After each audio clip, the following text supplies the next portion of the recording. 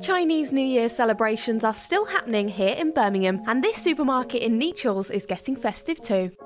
The original Mr. Yip worked in restaurants in the 60s, but found it hard to find authentic ingredients, so decided to set up his own supply store in the 70s. Now they're still celebrating Chinese culture and heritage with people of all nationalities across the West Midlands. One of the main uh, things that we do in the store is have a lion dance, and that is um, the significance of that is to uh, ward off, I suppose, the evil spirits of the previous year and to welcome uh, um, good luck and luck for the upcoming uh, um, year. We welcome every customer to experience um, Chinese culture and to experience the, the they won't have many uh, opportunities to see uh, things uh, like the lion dance. So, you know, it, it's part of the Chinese culture, it's part of our uh, um, the heritage of the business and it's something we'd love um, our customers of all nationalities to experience, uh, experience in store. We have uh, a good um, selection of fresh fish which is especially important over the uh, Chinese New Year because of the symbolism of um, having a,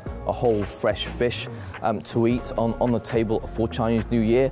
Um, fish um, having the similar tones to um, the um, to the Chinese word for plentiful. By eating the fish, they will have plentiful supply, plentiful uh, health and prosperity over the upcoming years.